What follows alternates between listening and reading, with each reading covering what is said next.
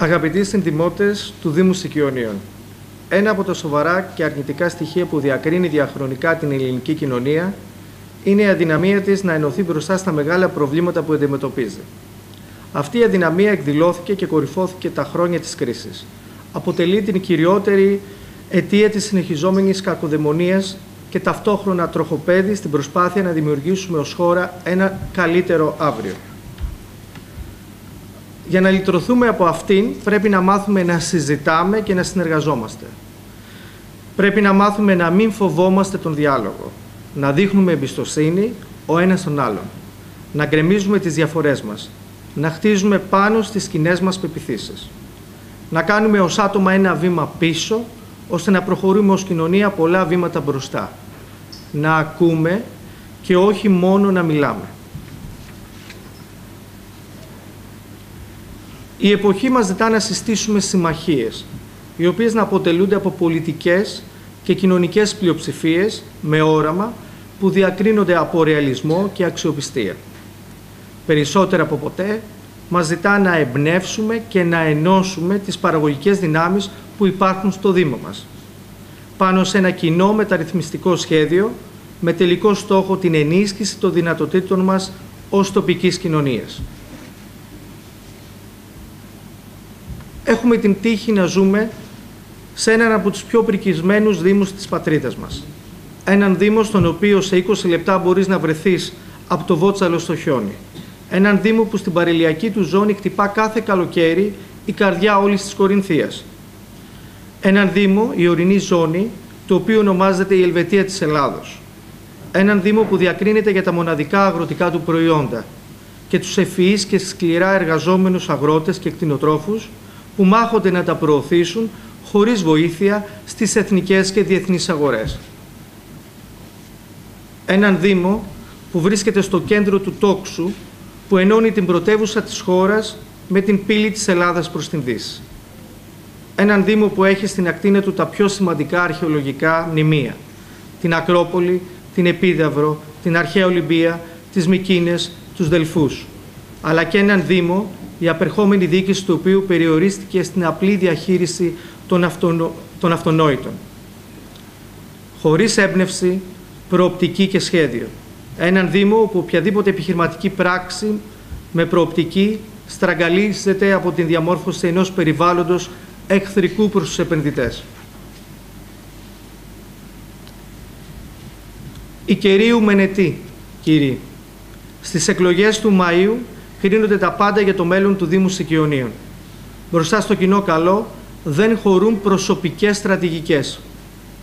Το τελευταίο διάστημα κυκλοφορούν φήμες και δημοσιεύματα που εμπλέκουν το όνομά μου. Σιώπησα. Ακόμα και όταν επιχείρησαν να με βλάψουν επαγγελματικά. Όμως σήμερα είμαι υποχρεωμένος να ξεκαθαρίσω μερικά πράγματα. Σε ό,τι με αφορά, Έχω μάθει να διατυπώνω τον δημόσιο λόγο με σαφήνεια, ευθύτητα, καθαρότητα και πάντοτε εγγράφος. Αυτό προκύπτει από την 20 μου επαγγελματική μου πορεία. Επιζητώ την κριτική, αλλά με αφήνει αδιάφορο η λάσπη, γιατί ο κόσμος την καταλαβαίνει. Ζητώ καθαρές κουβέντες από όλους και δεν ανέχομαι την παραπολιτική, γιατί κρατά δέσμιο τον Δήμο. Οτιδήποτε άλλο ακούγεται είναι προϊόν συμφερόντων και παραφιλολογίας. Δεν είμαι πολιτικός και δεν συνδιαλέγομαι, ούτε αναγνωρίζω παράγοντες και παραγοντίσκους. Ειδικά εκείνους που κράτησαν, κρατούν και θέλουν να εξακολουθήσουν να κρατούν τον Δήμο μας δέσμιο, προκειμένου, προκειμένου να εξυπηρετήσουν την προσωπική τους ατζέντα και να διεκδικήσουν ή να διατηρήσουν ρόλο στη διοίκηση των δημοτικών μας πραγμάτων. Όλοι αυτοί θα περάσουν στο χρονοτούλαπο της ιστορίας από την 1η Σεπτεμβρίου. Και την επόμενη φορά θα πω ονόματα.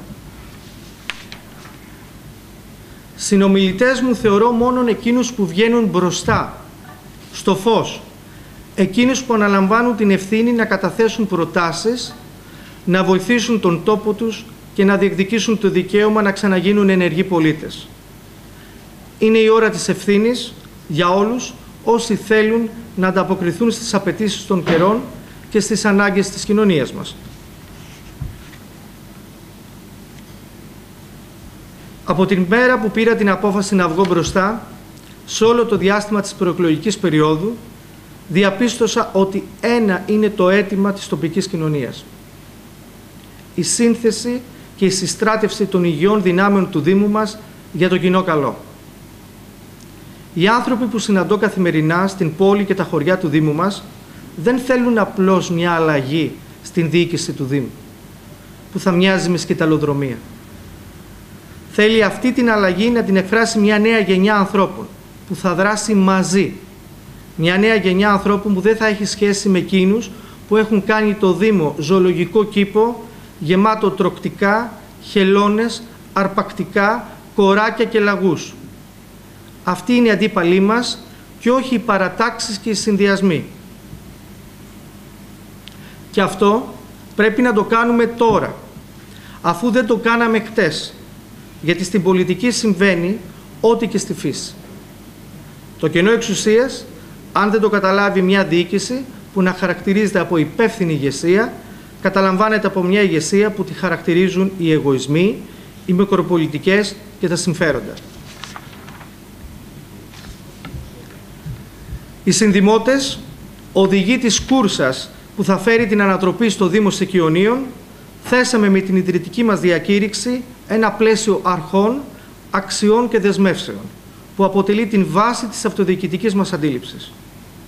Ο διάλογος έχει ξεκινήσει, συνεχίζεται και θα παραμείνει ανοιχτός, υπό τον όρο ότι όλα τα θέματα θα βρίσκονται πάνω στο τραπέζι και σε κοινή θέα, χωρίς ιστερβουλίες, χωρίς προαπαιτούμενα, χωρίς δεύτερες σκέψεις.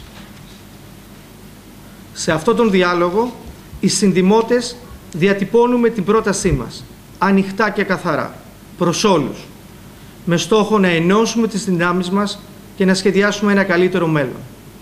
Η πρόταση αυτή συμπυκνώνεται σε δέκα ερωτήματα που απευθύνονται σε εκείνους οι οποίοι διακατέχονται από τις ίδιες αγωνίες και θέλουν να συμφωνήσουμε σε μια κοινή μεταρρυθμιστική αυτοδιοικητική πρωτοβουλία. Τα δέκα ερωτήματα είναι Πρώτον, συμφωνείτε ότι είναι υποχρέωση και καθήκον μας να σχεδιάσουμε τη δημιουργία ενός σύγχρονου πρωτοποριακού και ευρωπαϊκού Δήμου που θα τεθεί και πάλι στην υπηρεσία των Σικιονίων. Δεύτερον, αναγνωρίζετε την ανάγκη να ενώσουμε δυνάμεις ώστε να αποκαταστήσουμε τους θεσμούς και να προχωρήσουμε στην ουσιαστική επανένωση της ορεινής, ημιορεινής και παιδινής ζώνης του Δήμου μας.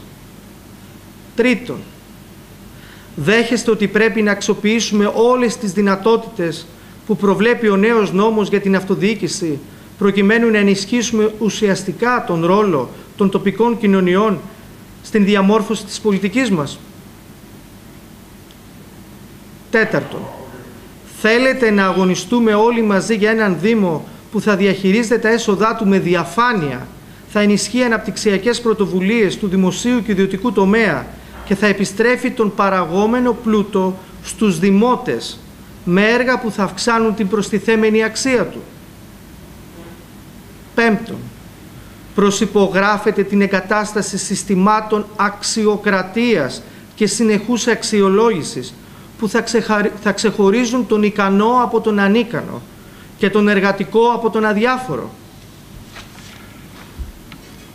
Έκτον, πιστεύετε ότι είναι ώρα να εκμεταλλευτούμε τις καινοτόμες ιδέες και να διοικήσουμε με εξωστρέφεια και αισθητική, αναδεικνύοντας τις θέσεις ευθύνης στους καλύτερους;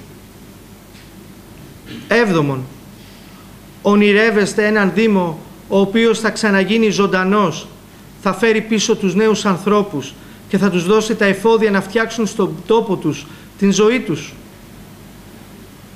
Όγδο, προκρίνεται μια δυναμική και αναπτυξιακή πορεία η οποία θα αξιοποιεί το σύνολο του ανθρώπινου δυναμικού του Δήμου μας, τις πλουτοπαραγωγικές δυνατότητές του, καθώς και τα συγκριτικά πλεονεκτήματα που διαθέτει. Ένατο.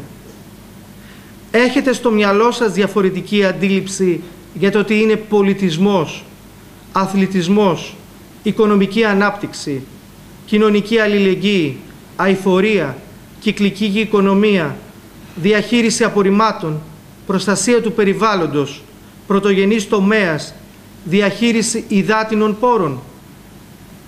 Δέκατο. Ζηλεύετε τις μικρές πόλεις και δήμους στο εξωτερικό που παρουσιάζουν τόσο διαφορετική εικόνα από την εικόνα του δικού μας Δήμου;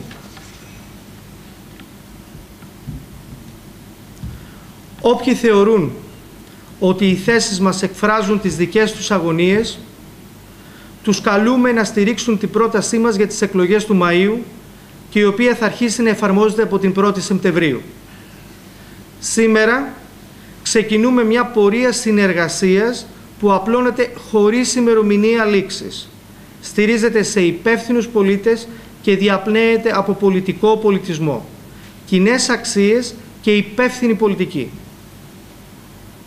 Και επαναλαμβάνω, παράγοντες, παραγοντίσκοι, παρατρεχάμενοι, πολιτική του καναπέ και του facebook, ο ρόλος σας τελειώνει.